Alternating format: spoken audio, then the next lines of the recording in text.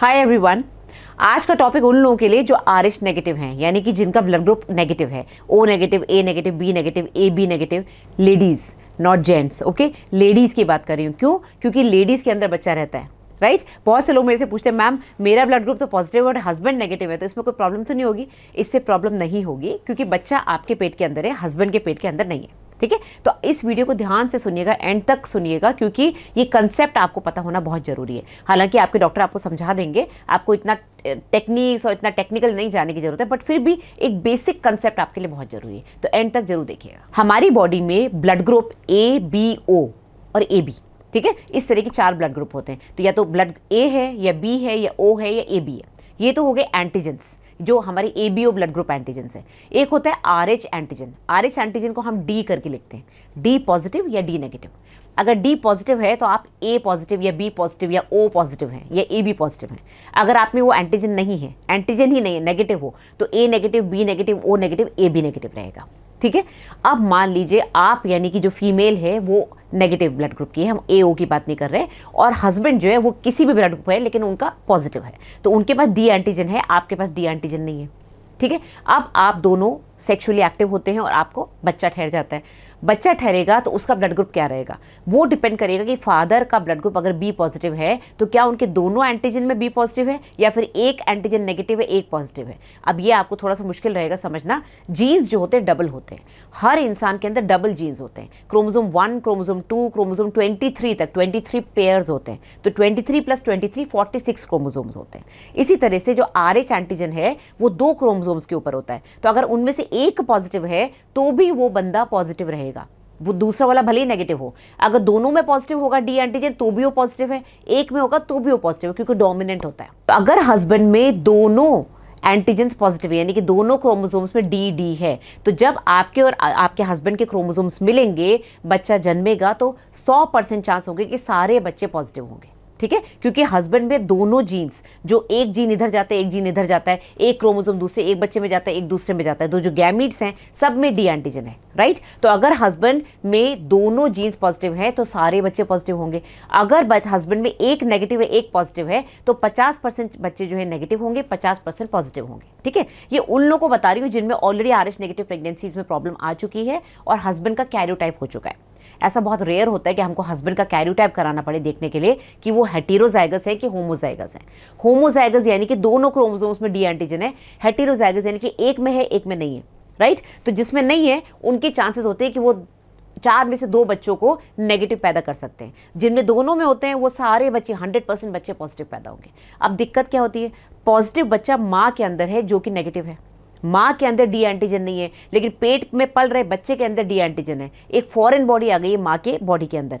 बच्चा तो खुद ही फॉरेन बॉडी है, लेकिन उसको ना रिजेक्ट करें, उसके लिए बॉडी में बहुत सारे मैकेनिज्म होते हैं। प्रेगनेंसी में अबॉर्शन होने के मेन कारण एक ये भी होता है कि बॉडी उसको रिजेक्ट करती है, अंदर एंटीबॉडीज़ बन जाती हैं। उसकी बात हम अभी नहीं कर रहे हैं। हम बात कर रहे हैं जो बच्चा है, उसका ब्लड ग्रुप अलग है। वो उसका ब्लड माँ के ब्लड से मिल रहा है, क्योंकि यूट्रस के अंदर है। कॉर्ड के थ्रू दोनों के ब्लड मिक्स हो रहे हैं। और बच्चे के अंदर जो डी एंटीजन है, वो माँ के अंदर जाके उसको ट्रिगर करेगा, क्योंकि माँ के अंदर एंटीजन है ही नहीं। तो माँ का जो इम्यून सिस्टम है, वो एकदम से एक्टिव हो जाएगा, पुलिस वाले सारे जग जाएँगे। ये चोर कहाँ से आ गया? क्योंकि ये तो हमारे यहाँ था ही नहीं पहले, ये तो हमारा, हमारी बॉडी का है ही नहीं। जैसे ही वो डी एंटीजन माँ के अंदर जाएगा, पुलिस वाले वहाँ पर एंटीबॉडी बनाना शुरू कर देंगे। यानी कि जितने भी मैक्रोफोजेज और इम्यून सिस्टम पूरा एक्टिवेट हो जाएगा एंटीबॉडी बन जाएँगी। अभी एंटीबॉडी माँ के अंदर तो कुछ नहीं करेंगी, क्योंकि ये एंटीबॉडी अटैक करती है डी एंटीजन पे। डी एंटीजन तो माँ में है ही नहीं।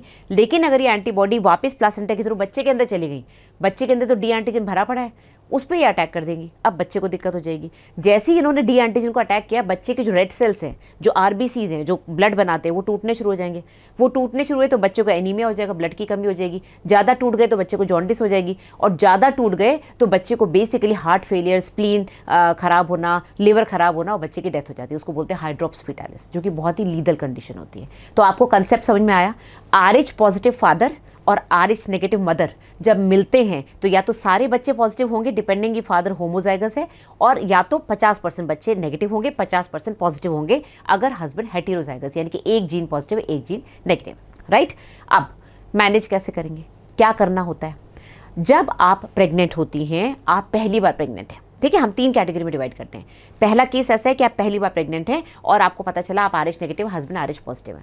दूसरा केस ये है कि आप सेकंड या थर्ड टाइम प्रेग्नेंट हैं और आपको अभी तक कोई प्रॉब्लम नहीं हुई है। आप आर एच नेगेटिव है हस्बैंड आर एच पॉजिटिव है प्रीवियस प्रेगनेंसीज में बच्चे को कोई दिक्कत नहीं हुई, लेकिन आपकी दो बार डिलीवरी हो चुकी है।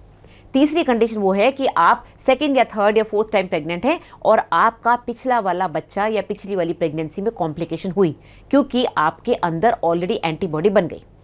राइट अब एंटीबॉडी कब बनती है मैंने आपको बताया, बच्चे का ब्लड जब माँ के ब्लड के अंदर आता है। बट माँ के ब्लड के अंदर बच्चे का ब्लड हमेशा थोड़ा ना आता है। कभी कभी आता है। कभी कभी कब आता है? जब कोई माँ को चोट लग जाए, माँ गिर जाए सडनली उसके पेट पे प्रेशर बढ़ जाए, या फिर हमने कोई ऐसा प्रोसीजर करा एमनियोसेंटिसिस करी, हमने पेट के अंदर नीडल डाली, ऐसे में एकदम से टर्बुलेंस हुआ और बच्चे का ब्लड माँ के अंदर आ गया, या फिर हमने कोई और प्रोसीजर किया, हमने बच्चे को टर्न करने की कोशिश करी, उसको ई बोलते हैं। बहुत सारे प्रोसीजर्स होते हैं, जिसमें या फिर हल्की सी ब्लीडिंग खुद ही हो गई थ्रेटेड मिसकैरेज हो गया हल्का सा ब्लड आ गया यूट्रस से बच्चा सर्वाइव कर गया, उस समय दवाई वाई देके प्रोजेस्ट्रॉन देके, बच्चा बच गया। कोई भी ऐसी कंडीशन जिसमें कि बच्चे का ब्लड माँ के ब्लड के अंदर जाएगा तो एंटीबॉडी ट्रिगर हो जाएगी। बट छोटी मोटी थोड़ी बहुत एंटीबॉडी जो होती है ना, उसको तो इम्यून सिस्टम अपने आप ही खत्म कर देता है। वो अपने आप ही खत्म हो जाती है, क्योंकि बच्चे का जरा सा ब्लड आया थोड़ी सी एंटीबॉडी बनी, उसको इम्यून सिस्टम ने अपने आप बॉडी से निकाल दिया। बहुत सारा ब्लड आ गया तो बहुत सारी एंटीबॉडी बनेगी। और ये बहुत सारी एंटीबॉडी अब बच्चे के अंदर जाएगी, आंवल के थ्रू ये गड़बड़ होता है। ठीक है? तो पहला केस, अगर आप पहली बार प्रेग्नेंट हैं तो कुछ नहीं करना है। डॉक्टर आपको बताएँगे, आप दोनों का ब्लड ग्रुप नहीं मिलता है। अगर आपको बीच में जरा सी भी ब्लीडिंग होती है या आप गिर जाती हैं, कुछ ऐसा होता है, कोई ब्लड ट्रांसफ्यूजन हो जाता है आपका ब्लड चढ़ाना पड़ता है, या फिर आपको ब्लीडिंग या कुछ भी ऐसा कुछ हुआ कि भाई पेट पे ज़ोर पड़ा तो आपको डॉक्टर के पास आना है और आपको एंटी डी का इंजेक्शन लगेगा। नहीं तो 28 वीक्स पे हर पेशेंट को एंटीडी का इंजेक्शन लगता है। ये पहले नहीं लगता था, अब लगना शुरू हुआ है कुछ सालों से, क्योंकि डब्ल्यू कहता है कि 28 वीक्स पे इंजेक्शन लगाने से आप बहुत सारी एंटीबॉडीज़ को बनने से रोक सकते हैं। डिलीवरी के बाद बच्चे का ब्लड ग्रुप चेक करते हैं। अगर बच्चा नेगेटिव है तो कुछ नहीं करना, माँ बच्चा दोनों खुश। अगर बच्चा पॉजिटिव है तो हाथों हाथ तीन दिन के अंदर माँ को वापस एंटीडी लगता है, जो कि 300 यूनिट का होता है। इसलिए क्योंकि नेक्स्ट प्रेगनेंसी में एंटीबॉडी ना बने उसके लिए। एंटीडी क्या करते हैं? मैं बाद में बताऊँगी। ठीक है? सेकेंड कैटेगरी ये होती है कि सेकेंड कैटेगरी में आपके दो तीन बच्चे पहले हो चुके हैं लेकिन आपको अभी तक तो कोई प्रॉब्लम नहीं हुई। या तो आपको पता ही नहीं था। बहुत लकी केसेस होते हैं जिनको पता ही नहीं था कि आर एच नेगेटिव वो पॉजिटिव जैसी कंडीशन उनकी बॉडी में चल रही है। उनको ऑलरेडी दो बच्चे हो चुके हैं, वो बच्चे भी आर एच पॉजिटिव थे। लेकिन माँ को या बच्चे को कुछ नहीं हुआ, क्योंकि ज़्यादातर केसेस में इतना ब्लड माँ के अंदर नहीं आता कि एंटीबॉडी बन जाए। और माँ की इम्यूनिटी इतनी स्ट्रांग होती है, थोड़ी बहुत एंटीबॉडी बनती भी तो स्प्लीन किडनी उसको बाहर निकाल देते हैं, फेंक देते हैं बाहर। ठीक है?